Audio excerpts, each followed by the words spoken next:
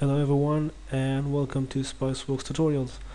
In this tutorial we're going to see how we can embed a customer satisfaction survey in the end user portal and how we can ask the end users to complete the survey once their ticket is closed. To follow this tutorial you'll preferably need Spiceworks 5 and above and you also need a free account at www.quicksurveys.com which will also be covered in this tutorial let's get started.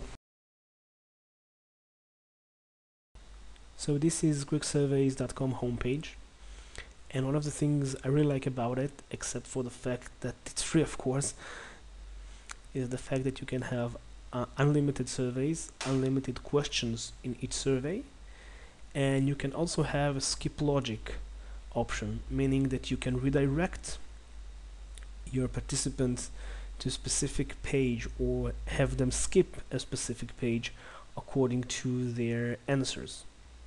And we will see a quick demo for that in this tutorial. So basically uh, what you need to do to get started with quick surveys is to sign up. And you do it here on this button. And you complete this form. It's a pretty straightforward username email password etc and you click on the sign up button and you will get a verification email. And you'll have to click on the verification link. And once you do that your account will be created. I've already created my free account so I will click on login. Will fill in my username and password. And this is uh, basically our dashboard. Here we can see our existing uh, surveys and manage them. You can see the results and of course we can create a new one. So let's go ahead and do that and click on the new button. Before we go ahead and jump right into uh, adding questions let's go ahead and see some of the features that quick surveys give us to customize the look and feel and the behavior of the survey itself. We'll start by examining the settings options. And as you can see uh, we can choose whether the survey is currently open or closed for responses. We can choose the dates uh, from a specific date until date or simply to leave it open and we can even choose the time zone. And we also have the options to choose how many times our participants can take the survey. Uh, we can choose whether we want to allow them to take the survey only once take it once and come back to edit the results or to take the survey many times. Now since that uh, this is a help desk survey and each end user may have more than one support ticket obviously we'll go with the third options of take survey many times. We can also choose what happens when the end user completes the survey. We can redirect it to URL or we can show him a message. Let's go for show a message option and write a thank you message. Thank you for helping us get better.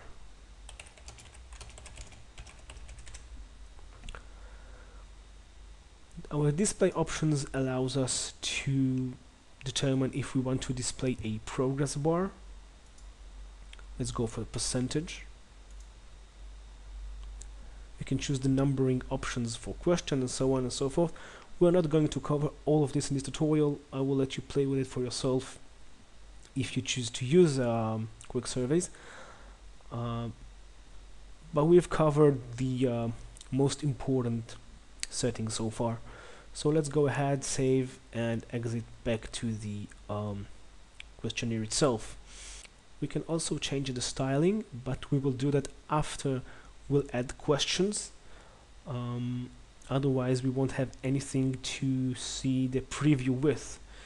Click on title. We will add um, title to the page the survey and a description. So let's go for um, IT survey.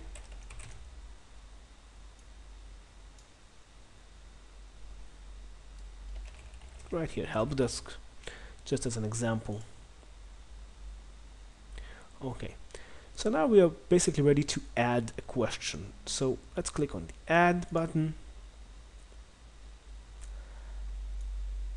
and go with something um, that makes very much sense. How would you rate our service?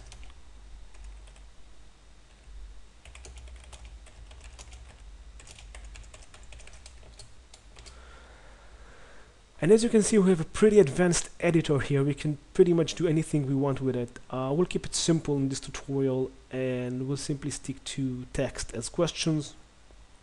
We'll go to the options tab and here we can choose um, the behavior of the question. So the, for the purpose of this question, a single answer out of multiple choice is the right way to go. We have many options to choose from and we can even uh, choose answer from a predefined groups.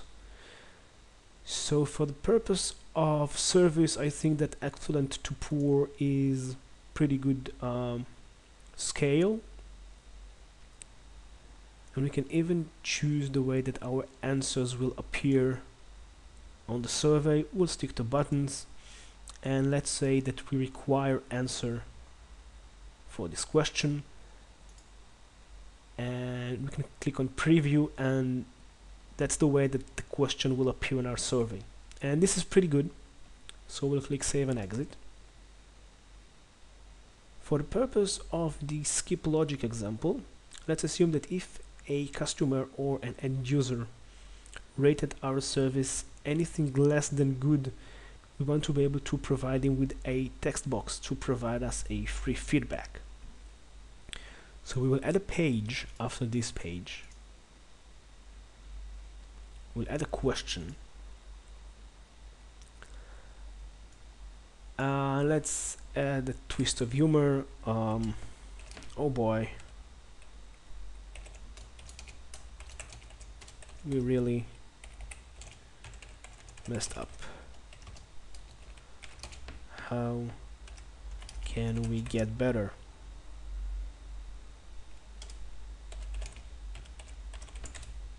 If we'll go to the options tab we'll simply change the uh, question type to a single text box. But one line with 40 characters may not be enough so let's change it to a text box 4 by 40 and this question will not be mandatory. So we can click on preview and that's the way it will look and that's pretty good for for the purpose of this tutorial so we'll save and exit.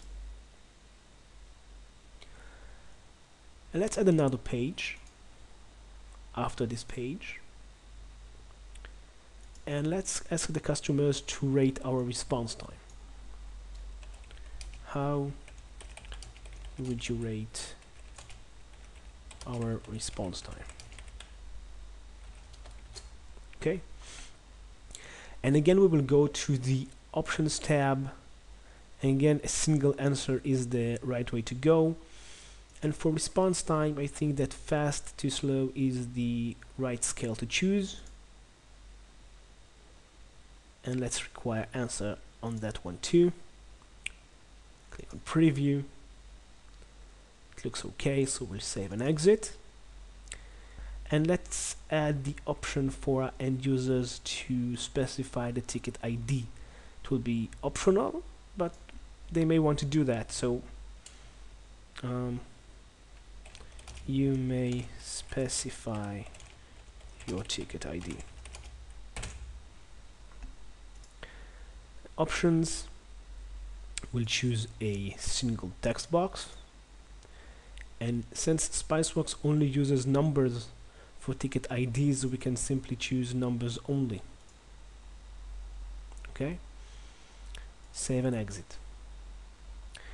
So now we have a survey with three pages and three pages are the requirement to allow skip logic. Otherwise there's nothing to skip. So we'll go back to page number one. We'll click on the skip button. And we'll say that if the uh, end user chooses excellent or good he will be redirected directly to page number three. If he chooses natural fair or poor he will be redirected to page number two where he can add his feedback.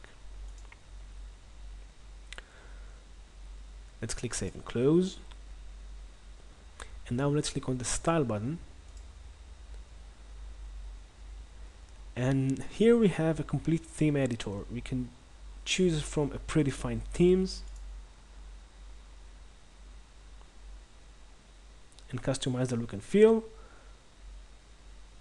Or we can set the colors for ourselves. I personally like the ice blue one so I'll stick to that. We can also uh, change the look and feel of the title of the introduction the logo the questions progress bar pretty much everything.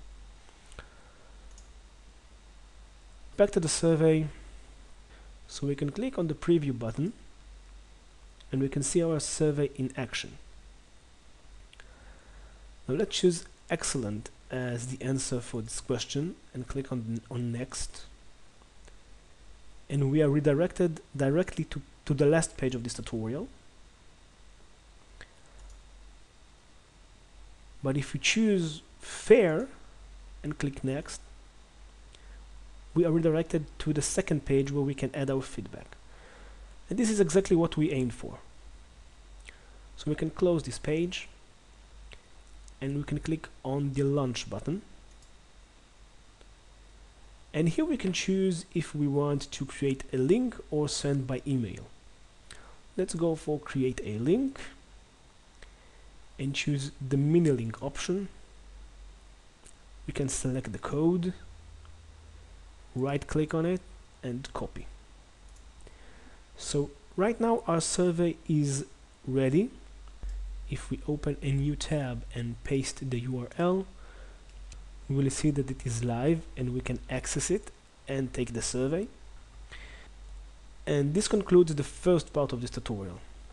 The second part we will see how we embed this survey in Spiceworks end user portal and how we ask our users and users to take the survey once the ticket is closed.